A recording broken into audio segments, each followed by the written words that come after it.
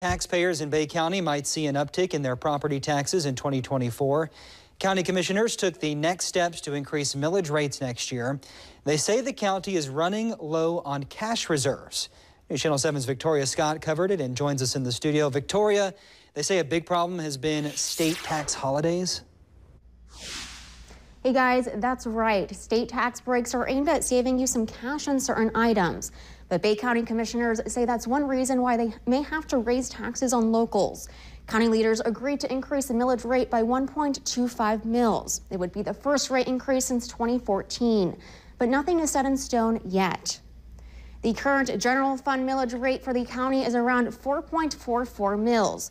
The proposed rate would bring it to nearly 5.7 mills. Officials say that increase amounts to $20 million yearly if it's approved.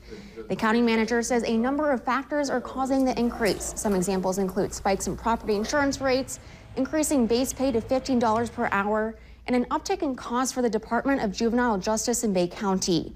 We're told that expense alone increased by roughly $800,000 this year, but that's only part of it. You know, one of the big drivers this year uh, is the uh, sales tax holidays.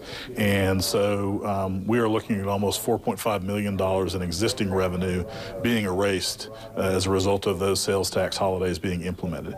And uh, what's significant about our general fund is 50% of our general fund pays for public safety operations. So you're talking about law enforcement, jail operations, and our uh, emergency medical service system. County leaders say they'll try to find ways to lower the rate between now and September. They'll vote on the final rate then. Stephen. Victoria, where can residents go if they have questions? I'm sure they have lots of them. They're encouraged to contact the Bay County Property Appraiser's Office if they have any questions about it. Guys. All right. Thank you, Victoria.